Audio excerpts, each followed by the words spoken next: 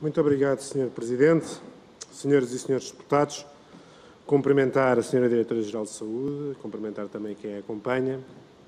À ciência, o que é da ciência. À política, o que é da política.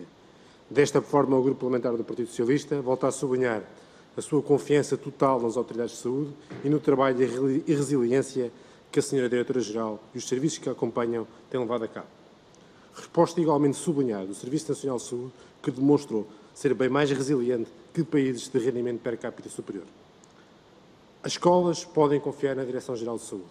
Sobre alguns dos temas que aqui foram colocados, relembrar que enquanto as escolas estiveram fechadas é que os contágios aumentaram e não o contrário. Isto é informação dos cientistas. Vivemos dias necessariamente difíceis, com o novo lockdown, que obviamente nos obriga a grandes preocupações na questão da economia e da saúde.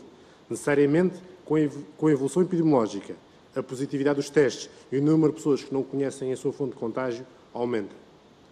Para nós, existe uma hierarquia clara.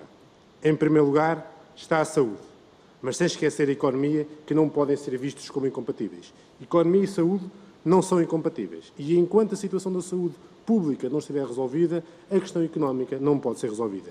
Queremos que, com responsabilidade global e de cada um de nós, podemos encurtar o confinamento e responder a esta crise. Esta responsabilidade, diga-se, é simultaneamente individual e coletiva. Temos de travar o crescimento da curva epidemiológica e, se em alguns momentos as decisões não são fáceis, temos de ter confiança nas autoridades de saúde que tomam as decisões.